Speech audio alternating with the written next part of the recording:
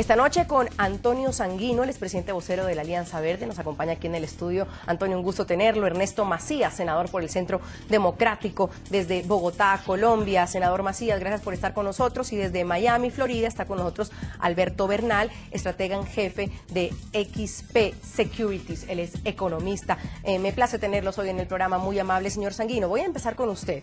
No se ha encontrado Trump todavía con el presidente Santos, pero recibe a la oposición otros dicen a expresidentes. ¿Qué lectura usted le da? Bienvenido. Bueno, muy buenas noches. Yo no sé qué trascendencia haya tenido en la opinión pública norteamericana este encuentro. Es probable que no haya tenido ninguna importancia en el debate público en el que está comprometido el gobierno de Estados Unidos en medio pues de la eh, manera como el presidente Trump está enfrentando eh, su agenda internacional. Pero en todo caso cae muy mal en la opinión pública colombiana que dos expresidentes hagan, hagan una especie de diplomacia paralela a la del gobierno colombiano. Cae muy mal también que el, el presidente Trump, eh, de una manera descortés y muy poco diplomática, primero se reúna con dos expresidentes que están prácticamente en la oposición eh, y no lo haga primero con el presidente de la República, rompiendo una tradición de una relación bilateral que es una relación que se corresponde a políticas de Estado tanto en Estados Unidos como en Colombia. Y cae muy bien también que sean dos expresidentes quienes eh, hagan eh, y protagonicen este tipo de hechos.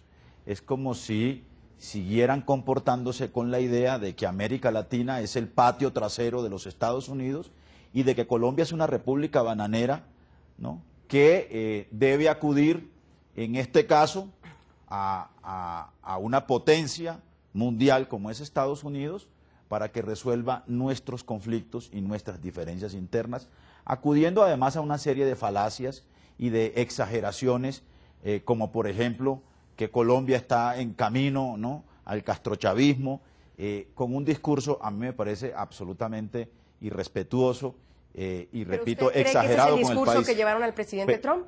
¿Usted cree que sí, ese es el discurso? Pero, pero, si no, pero, si no lo llevaron, lo acaba de oficializar el presidente Uribe con la carta que acaba de enviar. Al Congreso. Sí.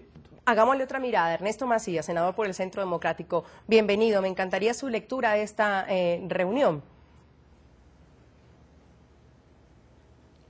Andrea, buenas noches a usted, a toda la audiencia, a la televidencia de Latinoamérica. A ver, más allá de la reunión de los expresidentes Uribe y Pastrana con el presidente Trump, eh, es más importante, diría yo, el contenido de la carta, porque la reunión no conocemos eh, cuáles fueron los detalles, cuáles fueron los temas que se trataron allí. La carta del presidente eh, Uribe a las autoridades americanas tienen un contenido que es muy importante tanto para Estados Unidos como para la región y principalmente, desde luego, para Colombia. Decirle a los Estados Unidos que en Colombia, eh, Colombia vuelve a ser el primer productor de coca en el mundo, que en Colombia se sustituyó la justicia, que en Colombia están ocurriendo cosas que se habían advertido desde antes, desde, que comenzó el proceso de Santos con la FARC eh, a, a, incubarse, se estaba, estuvimos hablando, y el presidente Uribe lo dijo, lo dijimos desde el Centro Democrático, que el temor que había era que Colombia tomara el camino que, de Venezuela. Hoy lo estamos viendo claramente. De manera, Andrea, que yo iría más allá de la reunión, que no conocemos detalles, al contenido de la carta. Pero usted no ve ninguna eh, diplomacia paralela a la que se ha referido el señor Sanguino, por ejemplo. A ver, los expresidentes de Colombia son libres de reunirse con quien quieran. Y el presidente de los Estados Unidos tiene la potestad y la libertad de reunirse con quien quiera. De manera que aceptar reuniones, aceptar invitaciones o reunirse, eso es, parte de la democracia mundial. Se ha hecho inclusive dentro de los canales institucionales de Estados Unidos. De manera que eso no es ninguna diplomacia. Sabemos que la diplomacia la hacen los gobiernos, pero estos son reuniones que el presidente Trump ha querido tener con eh, líderes de la región y en este caso de Colombia, pues se reunió con los expresidentes que sí, claro, que están en la oposición, los expresidentes Uribe y Pastrana. De manera que eso no es ninguna diplomacia, están buscándole eh, buscando, decimos en Colombia, el abogado donde no, donde no está. Ok. Ah, ah, eh, eh, Antonio, antes de darle la palabra para terminar la, la, vuelta, Alberto Bernal nos acompaña desde Miami y también me la pide. Alberto, ¿se está maximizando la reunión en sí realmente? Porque por un lado, el señor Sanguino tiene la posición de que pues en Estados Unidos no hay un eco de la opinión pública sobre esta reunión, pero se ha caído mal en Colombia. Es decir, se le está dando más eh, vuelta y, más importancia de la que realmente tiene? Hola Andrea, eh, bueno antes que todo muchas gracias por la invitación y, buenas noches para toda Latinoamérica, los televidentes de Latinoamérica. Pues mira Andrea, yo creo que eh, desde el punto de vista del gobierno de Colombia, desde el punto de vista de la administración Santos, si, si esta reunión molestó, porque el presidente Uribe y Pastrana muy seguramente le hablaron al presidente Trump sobre el incremento de los cultivos de la coca, sobre el hecho de que ganó el no y el, y el Congreso de la República decidió reversar esa decisión, sobre el hecho de que los líderes de las FARC no van a pagar cárcel, sobre el hecho de que los líderes de las FARC van a recibir un salario más alto que el resto de los colombianos, que yo me imagino que son muchas cosas que se tocaron, o sobre el hecho de que Nicolás Maduro es un dictador, pues si eso molesta, pues muy sencillo, en la reunión de mayo el presidente Santos va y refuta absolutamente todos los puntos si puede, ¿cierto? Entonces refutemos que hay más cultivo de coca, refutemos que ganó el no, refutemos que no se le está dando un salario a los líderes de las FARC más alto que al resto de los colombianos, refutemos que Nicolás Maduro es un dictador y que Colombia ha tenido una visión bastante suave con esa dictadura desde el punto de vista diplomático. Entonces son todos puntos totalmente debatibles, o sea que yo la verdad no veo cuál es el problema. Eh, por ejemplo, ahorita el hijo del presidente ponía en Twitter esta, esta tarde que si Estados Unidos disminuía eh, eh, la ayuda para con Colombia, iba a, ser, hacer falta del presidente Uribe y del presidente Pastrana.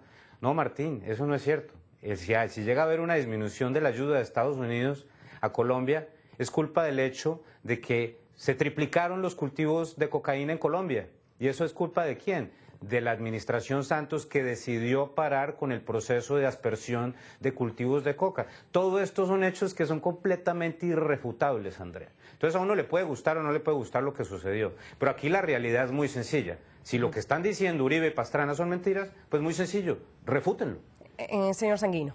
Sí, digamos, eh, un poco para, para replicarle a, a, la persona que, que, acaba de intervenir. Pues esas son miradas de la realidad colombiana. O sea, yo, por ejemplo, creo que la aspersión ha sido una política equivocada y que la aspersión no ha resuelto el problema de los narcocultivos en Colombia. No, pero esas son miradas que tenemos de la realidad. Yo solo me porque Estados Unidos lo ha cuestionado y le pero además, bueno, Estados Unidos tiene una agenda, pero es que la agenda antinarcóticos norteamericana no tiene por qué ser la agenda antinarcóticos de Colombia. Pero tiene una importante no, pues ayuda sí, pero, pero, es que, el problema, el problema del narcotráfico es un problema multilateral y nosotros no tenemos por qué pagar, ¿no? Eh, lo peor de la guerra contra las drogas, que es la aspersión aérea. Es que aquí estamos frente a un problema complejo que requiere soluciones complejas. Y la solución no puede ir a poner las rodillas a, los, a los, norteamericanos y casarnos con la agenda eh, norteamericana en materia de política antidrogas. Pero quería sencillamente responderle al senador Macías de la siguiente manera. Es que Colombia tiene una política exterior que es una política de Estado. Tiene instrumentos para esa política de Estado. Tiene una comisión de asuntos exteriores una comisión asesora en relaciones internacionales, en donde tienen asiento los expresidentes, en donde históricamente han tenido asiento los expresidentes. Eh, en un sistema político como el colombiano, la figura del presidente y la figura de los expresidentes son muy importantes, porque reúnen, reúnen, en el caso del presidente en ejercicio, la figura de jefe de gobierno y de jefe de Estado. Y a mí me parece que lo que están haciendo los expresidentes, más allá de si están diciendo sus verdades o no, porque son sus verdades. Eh, eh, a mí me parece que lo que están haciendo es un papel nefasto para la política exterior colombiana.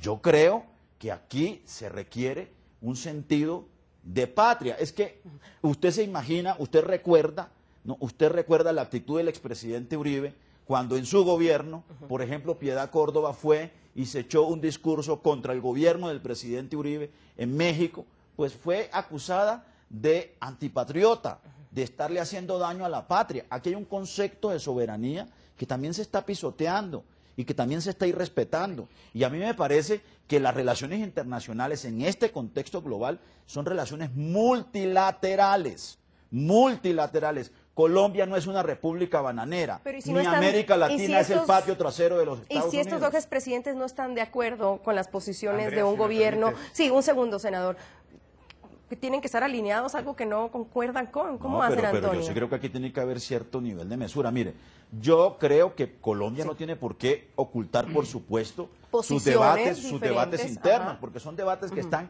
a la luz de los ojos a, los ojos del mundo. Mire, incluso el acuerdo el acuerdo de paz, el acuerdo de paz firmado pero que se queden internos, Antonio. No, no, no, pero es que los expresidentes tienen un, peso en la vida política del país y en la tradición política del país. seguimos, seguimos, o sea, senador. O sea, no es lo mismo que lo haga el senador Macías a que lo haga el expresidente de la República. Adelante, senador. A ver, Andrea, mire, aquí se está tratando de desvirtuar. En Colombia se ha abierto un debate en torno a si los expresidentes Uribe y Pastrana hacen eh, una tarea diplomática o no. el punto no es ese. El punto es claro, la diplomacia la hace el gobierno. Aquí, eh, por eso yo insisto en la carta del presidente Uribe que le manda a las autoridades americanas. Decir que en Colombia pasamos de 42 mil hectáreas de coca a 188 mil hectáreas de coca no es un tema diplomático ni es ocultar eh, la verdad, que es esa. Además, que esto está certificado por el Departamento de Justicia de los Estados Unidos. ¿Cómo toman ellos esto? Con el, con el satélite. Esa medida no es que, esa, esa 188 mil hectáreas de coca, no es que se las inventó un funcionario del gobierno americano porque quiso, sino porque es una realidad que está viviendo Colombia. ¿Que, ¿Por qué? ¿O cuál es la consecuencia de ello? Dice el presidente Uribe en su carta. Hombre, que se suspendió, se suspendió la fumigación. ¿Por qué? Por exigencia de las FARC. Por exigencia de las FARC se suspendió la fumigación y crecieron, qué casualidad, durante la discusión o los diálogos, como llamen, de, de las FARC con el gobierno, crecieron de 42 mil a 188 mil hectáreas eh, el área de coca sembrada en Colombia. Ahora yo quiero hacer una aclaración. Cuando la señora Piedad Córdoba, en su época senadora de la República, no fue a México a criticar al gobierno del presidente Uribe ni al presidente Uribe, eso lo hizo durante, durante todo el tiempo ella fue a pedir que derrocaran al gobierno y a pedir que rompieran relaciones en los países como México con Colombia. Aquí los expresidentes están haciendo uso de la democracia. El presidente Uribe, para protestar, invita a salir a la calle, lo hemos hecho varias veces, invita a votar en el plebiscito por el no, como lo hicimos dentro de la democracia. Nunca nosotros, ni el presidente Uribe, ha invitado a derrocar al gobierno del presidente Santos, como en su época lo hizo la señora Córdoba. Entonces, esa comparación no es válida, pero además nosotros estamos diciendo, como lo dice el presidente Uribe en su carta, hombre, acá, y yo lo digo en términos más crudos, se robaron el plebiscito, el, no ganó, el no a la política de, de negociación de Santos con las FARC ganó y sin embargo Santos se burló de esto. Esto es lo que está diciendo el presidente Uribe en su carta, de manera que lo que dice él, los ocho puntos, más decir que Colombia va camino a Venezuela no es nada nuevo, lo hemos venido diciendo y es la verdad que estamos viviendo en Colombia. De manera que aquí se ha tratado de distraer la atención diciendo que es que se está reemplazando la diplomacia, que se está reemplazando el gobierno, para nada. Son dos expresidentes que están en la oposición, dos líderes de la región, dos dirigentes que están en la oposición que le están diciendo verdades a la comunidad de Estados Unidos, a sus autoridades. Hoy en entrevista con la emisora colombiana La FM, Humberto de la Calle, jefe del equipo negociador del gobierno, aseguró que el presidente Trump tiene la libertad de reunirse con las personas que crea necesario. Sin embargo, resalta la importancia de que los expresidentes informen sobre qué temas hablaron con el mandatario eh, norteamericano. Además, dice que la ropa sucia se debe lavar en casa. Escuchemos. Nosotros no podemos dictarle la agenda al presidente Trump. el señor invita a quien le parece y se reúne con quien le parece. Desde el punto de vista de las relaciones oficiales formales, el presidente Santos ha hablado con el presidente Trump y hay una invitación oficial para mayo. Y me parece que ese es un hecho que tampoco se puede olvidar. ¿Qué pasó en esa reunión? Lo tienen que decir quienes asistieron. Realmente eh, sí nos haría falta saber más de qué se trata, porque esto coincide además con una carta dirigida a las autoridades norteamericanas del expresidente Uribe, donde tiene una serie de razonamientos que a mí me parecen equivocados. Con toda tranquilidad, yo no estoy de acuerdo con el presidente Uribe en esa carta, en lo que dice allí, me parece que es equivocado, me parece que hay buena parte de sospechas, imaginación, temores. ¿Qué sentido tiene que un expresidente de Colombia acuda a las autoridades norteamericanas para juzgar hechos de la política interna colombiana. Alberto, quizás esto también tiene otra mm, eh, lectura, como si aquí en Colombia no nos ponen atención, entonces nos toca salir a la comunidad internacional y decir lo que nosotros creemos, o en este caso también, como dice el señor Sanguino, su verdad. ¿E-, ¿Es esa la otra lectura que le podemos dar a lo que puedan estar buscando los expresidentes? Pues mira, Andrea, eh, uno puede estar de acuerdo con el proceso de paso, puede estar en desacuerdo, puede que los que votamos no nos hubiéramos equivocado, puede que la gente que votó no en el, en el Brexit se hubiera equivocado, pero aquí es una de dos, o aceptamos la democracia o no aceptamos la democracia. ¿Qué tal que David Cameron, después del Brexit, hubiera salido a decir, ¿saben qué muchachos? Vamos a repetir este voto porque no me gustó el resultado. Pues en Inglaterra David Cameron renunció porque perdió, punto. Y yo pienso que la gente que votó a favor del Brexit está equivocado. Yo voté por el no, porque yo creo que se cometieron muchos errores en la negociación y quería que se reencauzara la renegociación, sabiendo los costos de la guerra y sabiendo absolutamente todas las cosas. Yo voté a conciencia porque yo me leí las 190 y pico páginas del acuerdo y estaba completamente convencido de que este proceso estaba mal encaminado y lo que va a generar es nuevas violencias. A mí que me digan loco o guerrerista, no me importa. Yo leí, la mayoría de la gente que votó sí, no lo leyó. Yo sí voté educadamente. Entonces, yo, mi voto no vale, según el Congreso de la República, con todo el respeto con el doctor Sandino. Por Dios, ganó el no. Entonces, ¿acaso el presidente Pastrana o el presidente Uribe no pueden ir a, Washington a decir eso? Y yo también voy, a eh, ahondarme un poco en lo que dice Ernesto porque me parece muy importante esa comparación de lo que hace Piedad Córdoba con lo que hace el presidente eh, eh, eh, Uribe y Pastrana es completamente desafortunada. Y yo sé perfectamente que el doctor Sandino sabe que, Ernesto y yo tenemos razón. Esa comparación no se puede hacer porque Piedad Córdoba estaba pidiendo derrocar al gobierno. Aquí nadie está pidiendo derrocar el gobierno. Entonces, esa cosa de que nos molesta que vayan a decir las verdades en Washington, pues entonces si nos molesta que digamos las verdades, entonces no le pidamos ayuda a Estados Unidos. Si el punto de Martín Santos y del presidente Santos es que nos van a quitar la ayuda, entonces ¿para qué pedimos ayuda? Pero seamos ciudadanos del mundo con suficiente capacidad analítica y de inteligencia para no ponernos con estas niñerías de decir que no podemos hablar en el extranjero sobre las verdades del proceso del paz y sobre las verdades de la guerra contra las drogas. Y si no nos gusta la guerra contra las drogas, pues legalicemos la droga en Colombia que lo hagamos democráticamente y acojámonos a volvernos un paria mundial, pero no vayamos en este campo medio de que nos va a molestar que el gobierno de Estados Unidos nos llama la atención porque se triplicaron los cultivos de cocaína cuando los norteamericanos le dan la plata a Colombia para que se acabe el cultivo de cocaína. Eh, cierro este bloque con el réplica de Antonio Sanguino. Bueno, lo primero, digamos, eh, la crítica a la política de aspersión y a la política que ha dominado la guerra contra las drogas no es una crítica que provenga de las FARC. Hay un informe de tres expresidentes colombianos, Color de Melor, eh, el expresidente eh, mexicano y el expresidente colombiano César Gaviria. Bueno, que para nada son castrochavistas, ni tienen ninguna relación con las FARC. Y aquí ha habido un debate público en Colombia, eh, liderado incluso por movimientos agrarios y por movimientos ambientalistas, que están en contra de la fumigación y que han presentado reparos a la política antidrogas.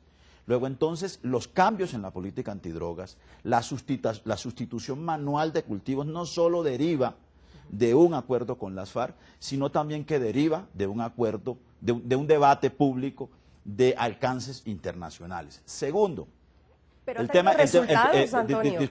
Pero ha traído resultados ese cambio. No, pues, pues, es que la guerra contra la droga la hemos perdido.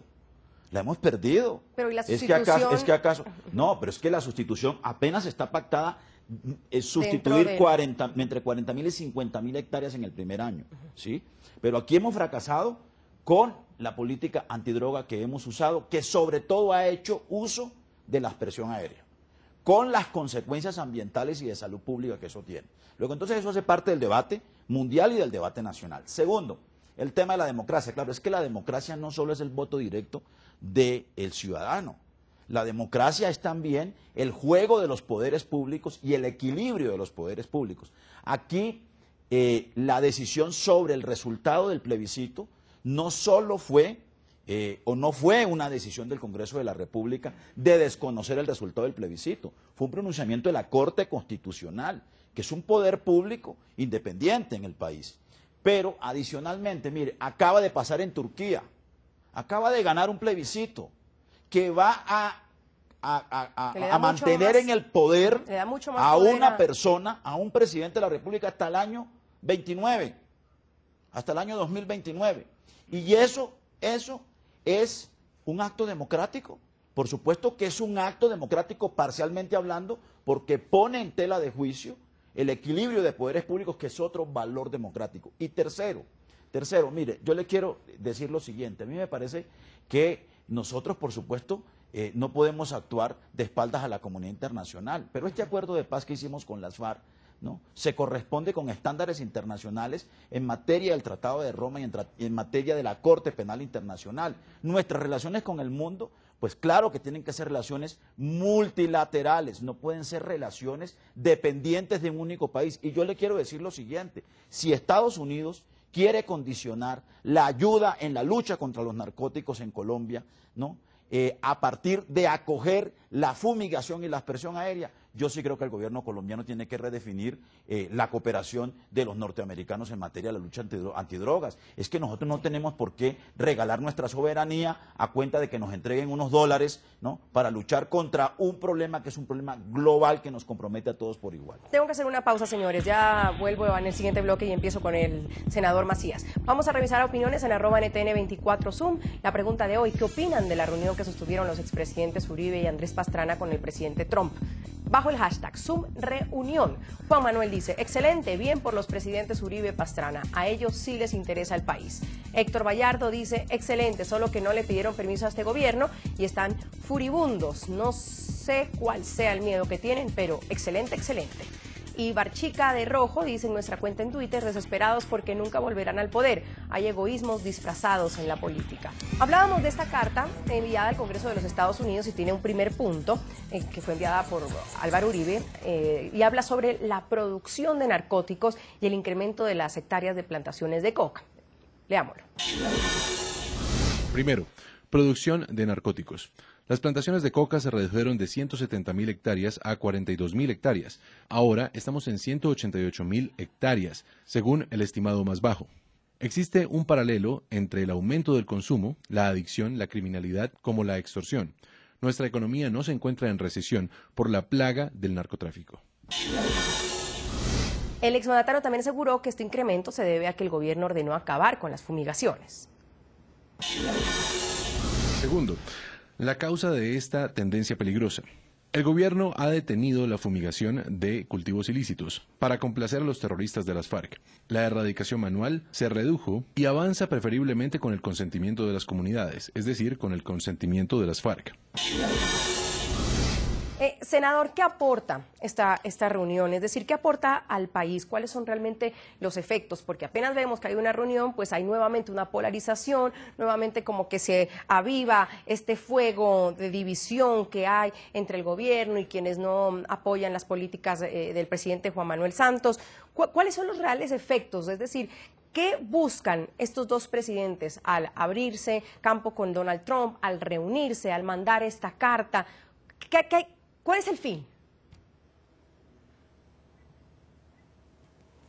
A ver, Andrea, ahí hay varias cosas. Me preocupa ahora cuando escuchaba la grabación que ustedes eh, publicaron de, la intervención del doctor de la calle, que habla de que la ropa sucia se lava en casa. Y resulta que nadie distinto al presidente Trump, a los expresidentes Uribe y Pastrana, conocen los, eh, los detalles o los temas que se trataron en, ella, en esa reunión.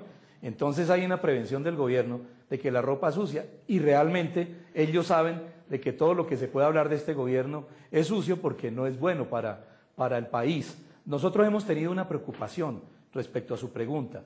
Hemos tenido una preocupación grande por el incremento de los cultivos de coca en Colombia. Y mire unos, efectos colaterales que le menciono así a título de ejemplo.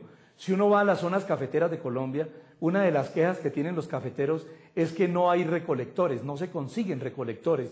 ¿Por qué? Porque los tienen raspando coca por unos precios exorbitantes. Es decir, el jornal que están pagando en las zonas cocaleras de Colombia es cinco veces superior al que se le pueda pagar a un recolector de café. Uno de los efectos, por, no hablar de los efectos malos del narcotráfico. Entonces, pasar, repito, de 42 mil hectáreas durante las conversaciones con las FARC a 188 mil, que es la cifra que nos ha dado el Departamento de Justicia de los Estados Unidos, es, es una cifra que debe aterrar, que debe asustar a cualquier ciudadano y los colombianos estamos muy preocupados. Ahora, que Santos ha sometido toda la política del gobierno a, los caprichos del alfar es un hecho.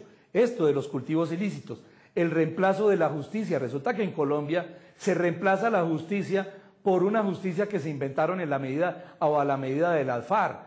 Entonces, lo que llaman aquí la justicia especial para la paz no es otra cosa distinta que la justicia especial para el alfar, donde qué, donde los cabecillas del alfar, que son narcoterroristas, que siguen en el narcotráfico, que han cometido crímenes de lesa humanidad, crímenes atroces, no van a pagar un solo día de cárcel. Y esa justicia tiene la libertad o el libertinaje de revisar los fallos de la justicia verdadera de Colombia y si quiere eh, eh, cambiarlos, de manera que hay una sustitución de la justicia en Colombia.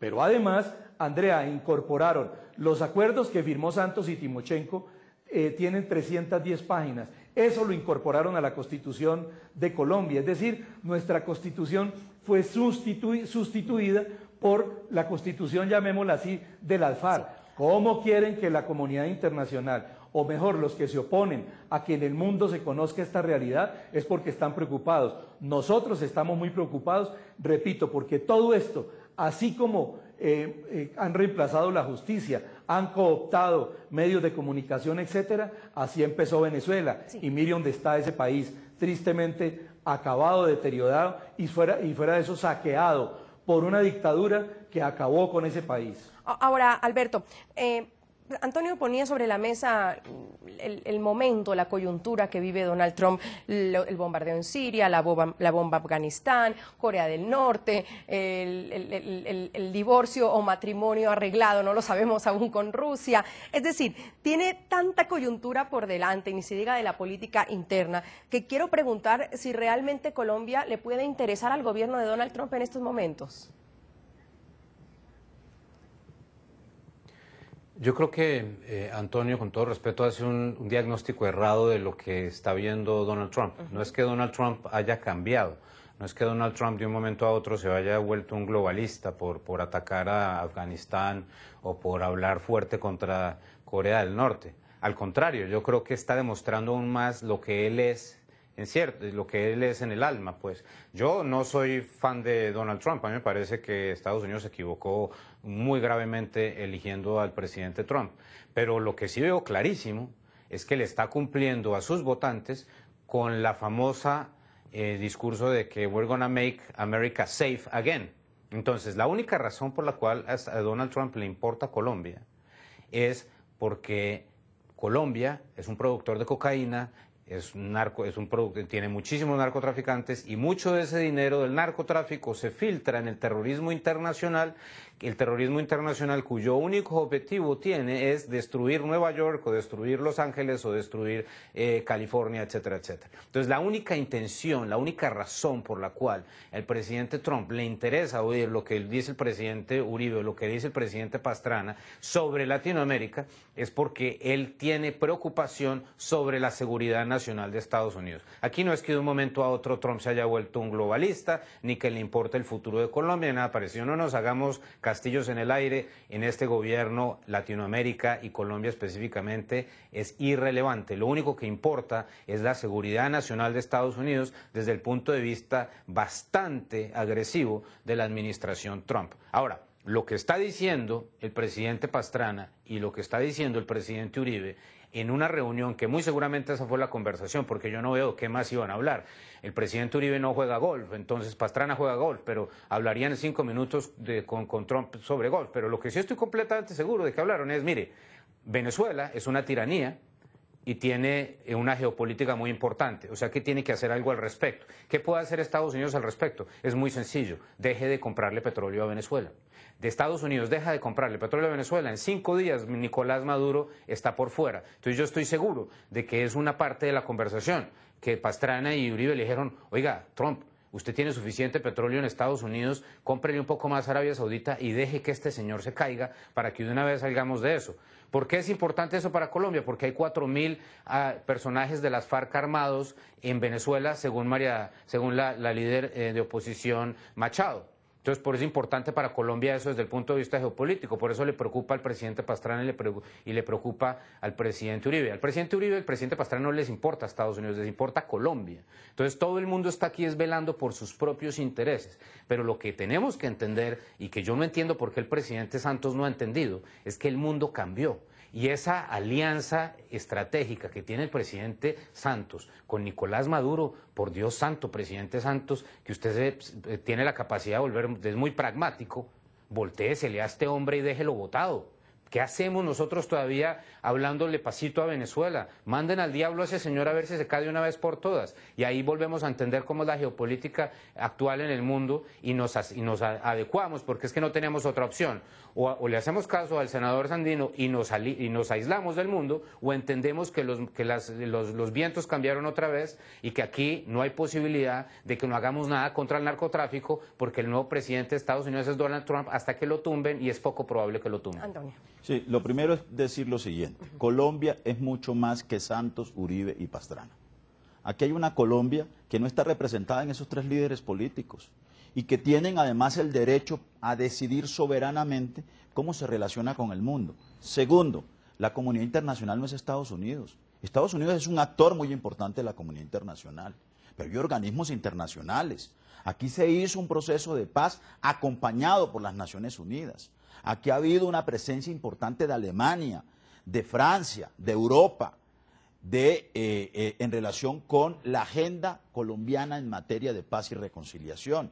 Luego, entonces, aquí hay otros actores internacionales. No nos vengan a decir ahora que la comunidad internacional es Estados Unidos y que nuestra única política exterior sea arrodillarnos a la agenda norteamericana y a la agenda del presidente Donald Trump. Y tercero, tercero, una cosa es que el gobierno colombiano, eh, en cabeza del presidente Santos, haya tenido una relación, digamos, no pugnaz, una relación no hostil con nuestros vecinos, en este caso con Venezuela, con Ecuador, con Brasil, con la comunidad latinoamericana, ¿no? que es una política exterior distinta a la política altanera que tuvo el presidente Uribe con los vecinos y que nos generó cualquier cantidad de conflictos en las fronteras, a decir que entonces el presidente Juan Manuel Santos es eh, un vocero de Fidel Castro, de Raúl Castro y del presidente Nicolás Maduro. A mí me parece que eso es absolutamente desproporcionado. Que puede ser un radicalismo,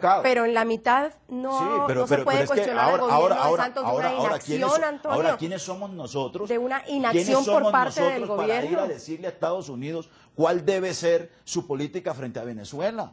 ¿Quiénes somos nosotros?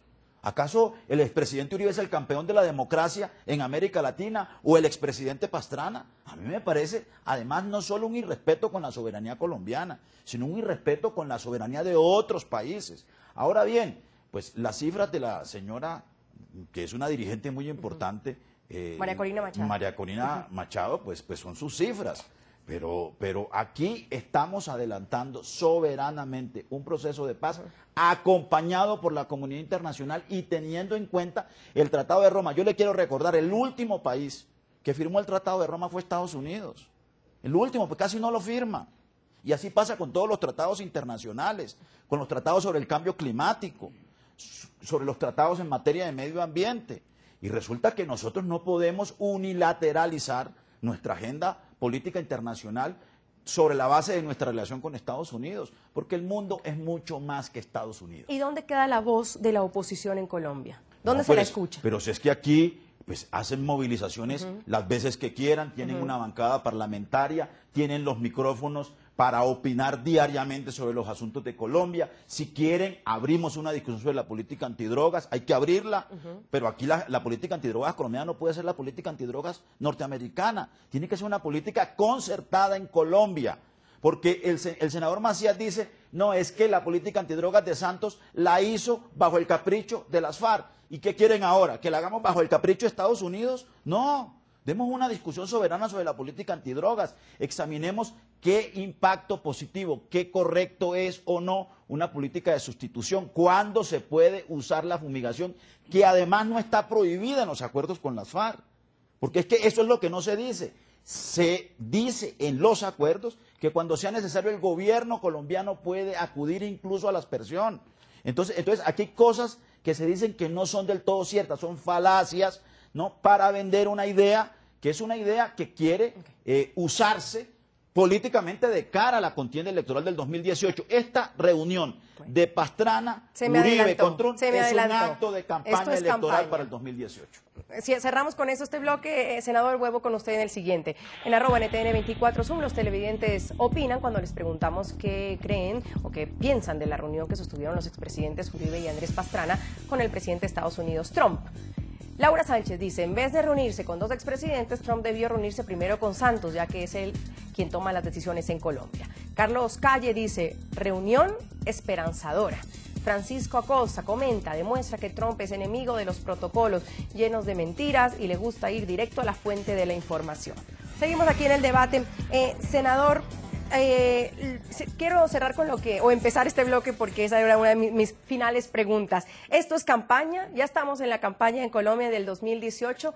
Va, aparte de esos efectos de los que hablábamos, es que Colombia y, sus políticos ya están en campaña. Mira, Andrea, eh, varias cosas. Mientras aquí todo lo que diga Uribe especialmente, le dicen que es campaña, que está diciendo mentiras, que sale a, los medios de comunicación a decir mentiras. Y mire la diferencia. Mientras hubo esta, esta reunión que en Colombia pues ha despertado todas las suspicacias del mundo alrededor del gobierno, eh, una reunión de la cual no se conocen, repito, eh, los temas que se trataron. Pero sin embargo, aquellos que están criticando hoy la reunión de Uribe y Pastrana con Trump no dijeron nunca nada cuando Santos se va al exterior, por ejemplo, a España, y sale a los medios de comunicación a insultar a la oposición en Colombia o a su oposición de Colombia. Se va a Inglaterra a hacer lo mismo, a insultar a los colombianos, a los de la oposición desde allá. Y miren la diferencia. Aquí los expresidentes se reúnen con el presidente Trump, mantienen en privado la conversación porque no quieren generar suspicacias, no lo sé por qué, las razones, y el presidente Uribe entrega una carta con unos puntos, ustedes ya han leído algunos, dos puntos han leído, son ocho, puntos en donde dice, por ejemplo, eh, el Servicio de Inteligencia en Colombia hace unos años hablaba de que las FARC tenían 40 mil armas y resulta que hoy la redujeron a 7 mil según el acuerdo y lo que han entregado es nada frente a eso. Ojo, en Colombia quienes han estudiado el tema de los niños secuestrados, no reclutados por las FARC, hablan de 11 mil niños y las FARC entregan 11, 13 niños y hacen el escándalo diciendo que están devolviendo a los menores que se llevaron, repito, secuestrados para eh, sus, sus fines de la guerra. De manera que, miren la diferencia, Andrea, mientras el presidente Santos se va al exterior a insultar a la oposición, los de la oposición van al exterior a plantear temas serios, preocupaciones que tenemos los colombianos, preocupaciones graves como estas que se están denunciando, como las que denuncia el presidente Uribe en sus ocho puntos de la carta. De manera que ahora decir que Venezuela ha sido refugio de los, de, los, terroristas de Colombia, eso no es nuevo, lo sabe todo el mundo, que allá han escondido a los cabecillas de la FARC, a los del ELN, que en el pasado financiaban a la FARC, de manera que eh, Venezuela ha sido protector. El gobierno que se convirtió en dictadura de Venezuela ha sido protector del terrorismo de Colombia. Por eso nos preocupa tanto y por eso estas denuncias que se hacen serias, con cifras y con documentos serios y no con insultos como lo hace el propio presidente Santos. Ahora, Alberto, hablemos de la diplomacia estadounidense o de lo políticamente correcto. Eh, ¿Qué pasó con esa diplomacia estadounidense? ¿Falló Trump? ¿Es políticamente correcto lo que hizo Trump recibir primero a expresidentes y no esperar primero la reunión de, con el presidente Santos? Mira, Andrea, yo he estado tratando de poner mucha atención a todos los medios norteamericanos sobre la reunión entre el presidente Trump y el presidente Pastrana, el presidente Uribe, y no he visto un solo titular. O sea, esa reunión aquí en Estados Unidos, para los medios tradicionales de Estados Unidos, no existió, no es relevante. Eh, yo creo que aquí, si alguien se, se, enteró, pues dijo, bueno, muy interesante que se hubiera reunido con estas personas, de golpe estaban jugando golf o hablando de algo diferente, etcétera. Pero aquí eso no, no, no, no se ha movido. Pero otra vez, yo creo que lo, lo más relevante, Andrea, aquí es, es, es que tenemos que, que, encontrar y acordarnos de cuál es la realidad de la situación. O sea, es que, Andrea, yo, yo la primera vez que oí sobre la infiltración de las FARC y del ELN en Venezuela no fue el presidente Uribe, fue el presidente Juan Manuel Santos, en ese momento ministro de Defensa de Juan Manuel Santos. ¿Por qué diablos cambió ese discurso? ¿Por qué, por, qué por, por culpa de la, yo no sé cómo le dicen eso, la, la diplomacia moderna o algo así. Entonces, vamos a, para tratar de sacar una firma con estos señores, vamos a olvidarnos de la realidad. Lo que dice Ernesto es muy cierto. ¿Por qué diablos no estamos hablando de las armas? O sea, el punto de la desmovilización no es que entreguen las armas. ¿Dónde están las armas? Nadie sabe dónde están las armas. El presidente Santos no sabe cuántas armas son. La ONU no sabe cuántas armas son. Los académicos en Colombia dicen que son entre 40 mil y 14 mil armas. No hay inventario. ¿Qué va a pasar con las armas? ¿Qué pasó con los niños, André? ¿Qué pasó con todos los puntos importantes de la... Es que lo relevante... A ver, si les vamos a dar un salario a estos señores y que los vamos a llevar al Congreso, bueno, está bien, pero que por lo menos devuelvan las armas. O sea, eso de verdad es demasiado pedir. Yo no entiendo eh, la discusión en Colombia por dónde nos fuimos. Es que, es, que no es cuestión de ser eh, ni, ni loco, ni guerrerista, ni nada, sino simplemente de un inventario. Todos queremos ver una hoja de Excel diciendo cuántas armas devolvieron estos señores porque supuestamente ahora van a pasar a la legalidad. ¿Es eso mucho pedir? y en Colombia no podemos hablar de eso porque todos somos guerreristas y somos traicioneros y etcétera, etcétera. Eso, eso ojalá en, las próximas elecciones ya no tengamos que volver a, encontrarnos en esta discusión tan, tan aburrida, tan bizantina entre enemigos y amigos de la paz porque pedimos cosas apenas lógicas. Muchas preguntas que no, me, no me alcanzan en el programa, pero quiero cerrar con Antonio para, para que los tres tengan la oportunidad de cerrar el bloque. Antonio, al final, ¿qué deja esta reunión? Si ya dice Alberto que los periódicos en Estados Unidos ni atención le pusieron. Aquí se ha armado más una polémica nuevamente, Santos contra Uribe, ni el Papa los ha podido unir. ¿Realmente qué deja? No, pues yo me ¿Qué imagino, efecto tiene? Yo me imagino que una decepción para la mentalidad de súbditos del expresidente Pastrana y del expresidente Uribe. porque hicieron semejante esfuerzo y ni siquiera la prensa norteamericana lo registró. Para que, nos para que nos enteráramos tuvo que el presidente Pastrana mandar un Twitter para que supiéramos que esa reunión existió. Imagínense usted cómo estará de golpeado el alma de súbdito de los dos expresidentes. Segundo, mire, yo creo que lo que ha dicho el presidente, el expresidente Uribe en su carta, no es ninguna novedad. Hacen parte del día a día del debate público en Colombia. Pero el problema no es lo que haya dicho el expresidente Uribe en esa carta, sino la pretensión de enviarla al Congreso norteamericano y a las autoridades norteamericanas y eh, seguramente, no lo sabemos aún, que hubiese podido ser materia de la reunión con el presidente Trump. ¿Qué buscan los dos expresidentes? Una intromisión por invitación de los expresidentes de Estados Unidos en los asuntos internos de Colombia. ¿Qué buscan los expresidentes? Condicionar la ayuda norteamericana hacia Colombia para que Colombia acepte sin, sin ningún tipo de crítica la agenda antidrogas norteamericana y la posición norteamericana. Pero, pero, pero, lo que sí queda claro, lo que sí queda claro es que este es un acto de campaña hacia el 2018. Esta reunión es un acto de campaña. Pero déjeme terminar con lo siguiente, Andrea. Mire, mire, mire, mire, las armas, las armas, la entrega absoluta y total de las armas de las FARC no las verifican las FARC ni las verifica el presidente Santos. Las Naciones Unidas son las encargadas de reseccionar y garantizar que las FARC entreguen hasta la última arma. No la doctora María Corina Machado, ni el senador Ernesto Macías, ni el expresidente Uribe. Un organismo internacional. Pero además le quiero decir lo siguiente. bueno, le quiero decir lo siguiente. Hombre, que el uribismo se ponga de acuerdo con las cifras, porque si dicen que las FARC tenían 11 mil niños, quiere decir que si tenían 11 mil niños en las filas, pues tenían 30 mil combatientes. Y el expresidente Uribe dijo que había reducido a su mínima expresión las FARC a las FARC como producto de su estrategia de seguridad democrática y que habían quedado reducidas a los sumos a 5.000, 6.000 guerrilleros. Entonces, dígame dónde estaban los 11.000 niños. Para, queda invitado a otros programas como siempre, Antonio. Antonio Sanguino, Ernesto Macías, Alberto Bernal, como siempre sin tiempo y con mucho todavía por conversar.